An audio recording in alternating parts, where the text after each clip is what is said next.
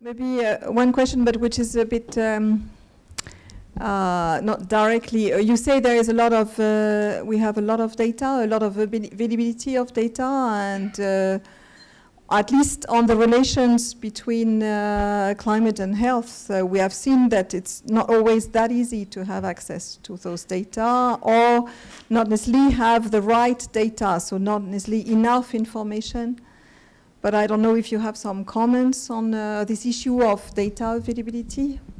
So on data uh, availability, yeah. I don't know. Uh, you, about information, yes.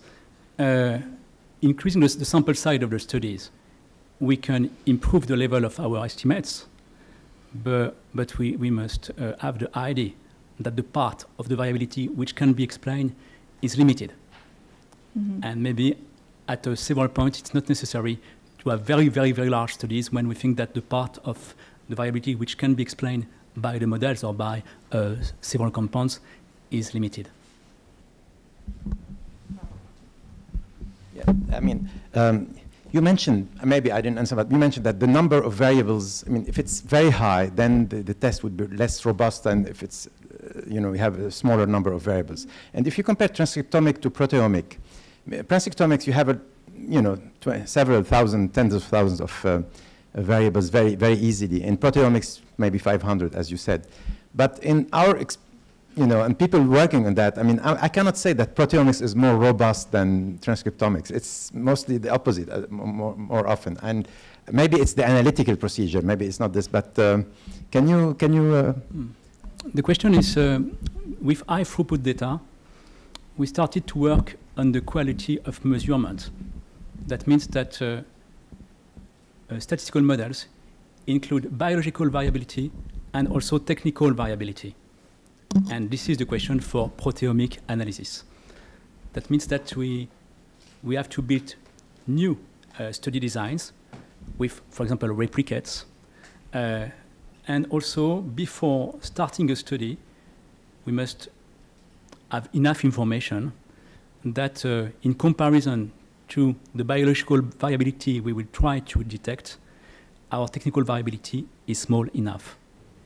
But models included the two components of variability, uh, technical variability and also biological variability.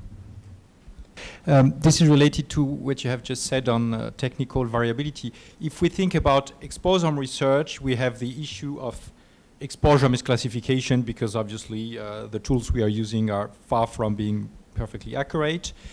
So it adds up to the technical variability with probably correlation between the error structures for each uh, of the component of the exposome. And um, the fact that the exposure covariates are also to some extent correlated.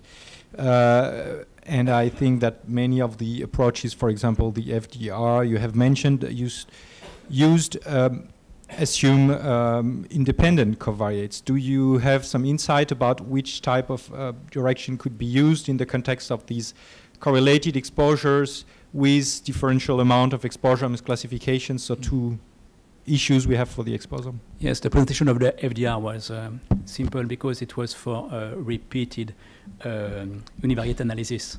So there are several methods which can uh, be used to take into account uh, correlations between covariates. But maybe if the effect is enough strong, maybe it's not a problem. You think it's, it is? And uh, if the measurement error, the magnitude of the measurement error is, uh, is, is too large, maybe it's. Yes. Yes, yes, of course. I, I think you, you, you do it. I'm sure you do it. But uh, uh, if you have uh, models for uh, that can accommodate for these multiple comparisons are are not so straightforward adapted to the case where we have um, errors for multiple exposures. So, I mean, measurement error models like SIMEX or regression calibration, they they basically work perfectly if you have one exposure at a time, but is it easy to adapt them to the exposome? Oh yes, uh, uh, maybe to, to work on special study designs uh, more than uh, using a global um, measurement method with a high level of uh, technical error. Mm. Okay, so Thank uh, you. thank you very much.